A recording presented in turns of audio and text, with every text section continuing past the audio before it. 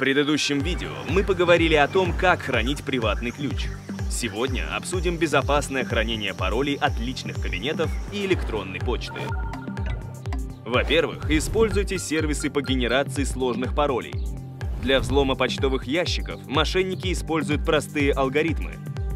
Мы рекомендуем вам пользоваться сервисами автоматической генерации паролей. Во-вторых, не используйте значимые имена и даты. Мошенники легко подбирают подобные пароли. Вот несколько лайфхаков, которые помогут создать пароль. Используйте в качестве пароля профессиональные термины, малоизвестные широкой аудитории, и попробуйте усложнить их. Слова «палатализация заднеязычных» можно превратить в такой пароль. Используйте неочевидные даты, например, дату вашей первой встречи с домашним животным.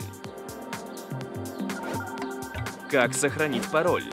После того, как вы придумали хорошие и сложные пароли для самых важных аккаунтов, их нужно сохранить. Пароль должен быть сохранен в нескольких местах.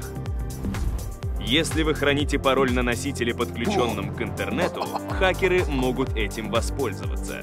Куда лучше хранить пароли с помощью специальных приложений хранилищ. Они работают как сейф, чтобы получить доступ к хранилищу со всеми паролями, пользователю нужно ввести мастер-пароль. Рекомендуем выбрать один из этих пяти сервисов. LastPass, Dashlane, Zoho Vault, Sticky Password, KeyPass.